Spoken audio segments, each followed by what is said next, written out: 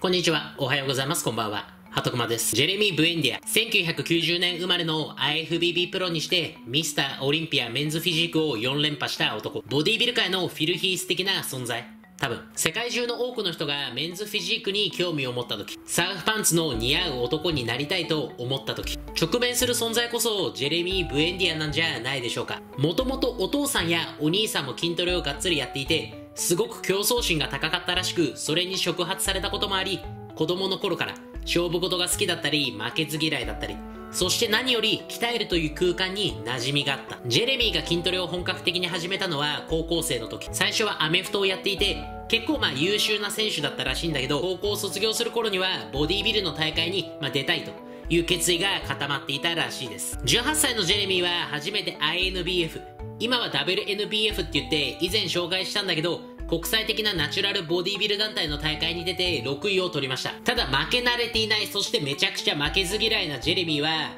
経験を積むために大会から少し離れました。で2年後彼はステージに復帰して NPC の大会に出て3位という成績を取りました。でもその後彼はもちろん3位でも満足ができない。さらに経験を積むために修行しに行きました。もう本当にベジータみたいな存在だよね性格も含めて。またまた2年後。2012年彼は大会に戻ったんだけど2012年からはメンズフィジークが始まったからフィジークで大会に出始めたジェレミー。カリフォルニアの大会で準優勝。でメンズフィジークについては自分が絶対活躍できる場所だって思ったらしい。まあ実際活躍したからまあ正解なんだけど準優勝した時に、まあ、なんかいけるっていう感覚でも掴んだのか今度は精神と時の部屋には行かずに2012年ジェレミーは合計6つの大会に出ました。ただまあ優勝をじゃあしまくったのかって言ったらそういう風なことはなくて優勝したのは最後に出たエクスカリバー大会のみ。プロで圧倒的なフィジークチャンピオンだったジェレミーからは想像つきませんが最後に優勝したエクスカリバー大会で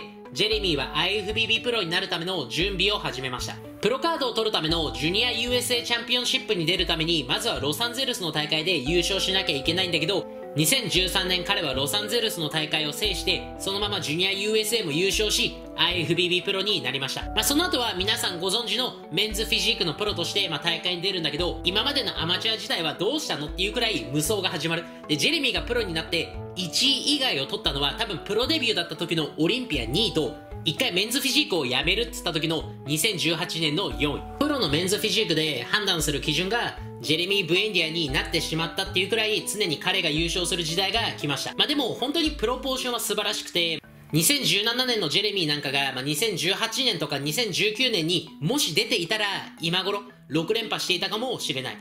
そしてジェレミー・ブエンディアといえばコーチであるハニー・ランボットの存在もめちゃくちゃ大きかった。フィル・ヒースをはじめ数々のトップ選手をコーチングしてきたハニーですが FST7 の人エボジェンの人として、まあ、有名。フィットネス界の海坊主です。ただその最強タッグでオリンピア4連覇を果たして5連覇にってなっていた2017年の最後の方ジェレミーはイベント中のベンチプレスで胸が裂けて手術をするっていう大怪我をしました。で手術はま成功してリハビリもしていったんだけど筋肉は一気にそぎ落ちてっちゃって去年メンズフィジーク4連覇をした人と同じには見えないくらいになってしまったジェレミー。それでもオリンピアに向けてハニーと調整をしていったジェレミー。結果は4位と、まあ、優勝はできませんでしたがトップ5には入りました。2017年と見比べてみると腹筋をはじめコンディションがまうまくいってなかったのかなっていうのとパッと見の筋肉量はやっぱり落ちた印象があった。けどこの大怪我からもうたった数ヶ月でここまで戻してきたのはやっぱりさすがの一言。その後はイベントに参加したり自身がコーチとかオーナーを務めているチームブエンディアに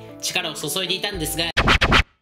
ただ2019年に色々問題が起きてしまいました。エボジェンとの契約が切れたのかコーチハニーとの相互フォローが外れてイベントなどでも一切絡むことがなくなっちゃった。でさらにジェレミーとその友人でやっていたアパレルヘラヒーローでも金銭問題などで喧嘩別れをしてあとバーかなんかで殴られて失神している映像もありましたがさらには、まあ、これがとどめだったと思うんだけど当時彼女だったヒルダから数々の DV の告白。現役時代から性格はあまり良くないっていう噂があってファンサービスもそんなに良くないって言われていたジェレミーでしたがメールのやり取りから、まあ、何から何まで全部出されちゃったもんだから、まあ、大炎上。結局裁判とかにはなっていないから最終的な結末は分かりませんが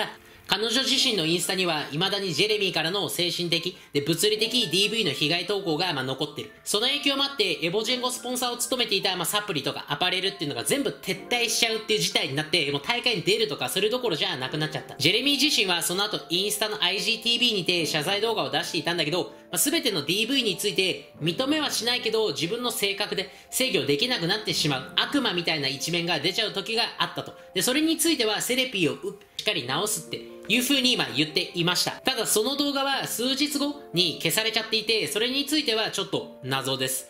で、その後、ジェレミーの口からヘラヒーローを含め DV 関係の話は、まあ、一切ありません。で、まあ、当時、その問題に絡んでいた、まあ、ちょっと名前が出ちゃってたザック・アインズリー含め何名かの人はジェレミーを擁護してるんで、真相は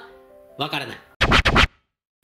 ということで、暗い話になったから、まあ、話を進めて、その後ジェレミーには新たなコーチやスポンサーがつきました。サプリメントにはライズ。コーチには2019年オリンピア王者ブランドン・カリーのコーチ、アブドゥラさん。まあ、この人も口悪くて、まあ、ちょっと性格が悪い人なんですけど、2020年、ミスターオリンピアに復帰すること、メンズフィジークで5回目の優勝を狙うことを発表しました。今年はまあコロナもあってどうなるかまだ不透明ですが、正直2017年以降、恵まれていたとは言えないジェレミー・ブエンディア。2020年に今までの問題を全て吹き飛ばし、再びメンズフィジークの王者に返り咲くことはできるんでしょうか？以上、ジェレミー・ブエンディアの紹介でした。ということで、今日はこの辺で終わりたいというふうに思います。ではまた。